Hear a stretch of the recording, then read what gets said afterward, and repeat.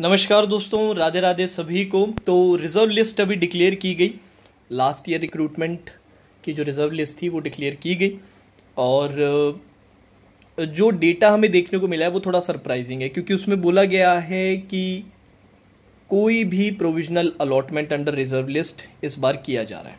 मतलब कि 29 दिसंबर 2023 से लेके आज इकतीस मार्च 2024 के बीच में किसी भी पार्टिसिपेटिंग बैंक के पास कोई वैकेंसी ऐसी अवेलेबल नहीं है जिसको वो रिज़र्व लिस्ट के थ्रू भरना चाहते हैं।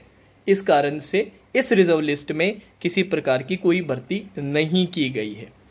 अब इसका मतलब ये नहीं कि पिछले पूरे साल में नहीं की गई। इससे पहले भी आपकी कई बार रिज़र्व लिस्ट आई थी लास्ट ईयर उनका मानना है कि उनतीस दिसंबर से पहले जो भी रिज़र्व लिस्ट आई थी, उसमें जो जो इनको पार्टिसिपेटिंग बैंक्स को जो जो रिक्वायरमेंट थी, वो उन्होंने फुलफिल कर ली।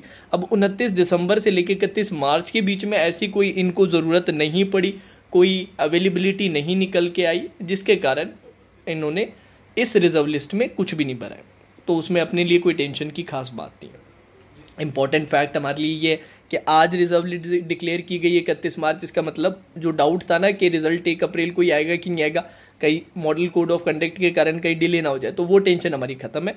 तो कल आपका रिज़ल्ट पक्का है और इसमें नहीं आई है, इसका मतलब ये नहीं कि पिछले पूरे साल से ही लास्ट रिक्रूटमेंट में रिज़र्व लिस्ट में कोई कैंडिडेट ही क्लियर नहीं हुआ है।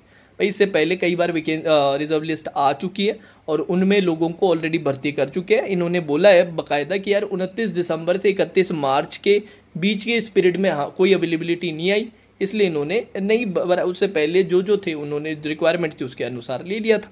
कोई टेंशन वाली बात नहीं, ठीक है? चलो that's all for today session Radhe Radhe